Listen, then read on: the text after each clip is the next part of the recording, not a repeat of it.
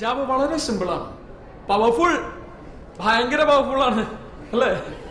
പിന്നെ safe Java വളരെ സേഫാണ് മനസ്സിലാവുന്നുണ്ടാവല്ലോ എല്ലാവരും കേൾക്കാനാ പറയുന്നത് മനസ്സിലായില്ലെങ്കിൽ പറയണം.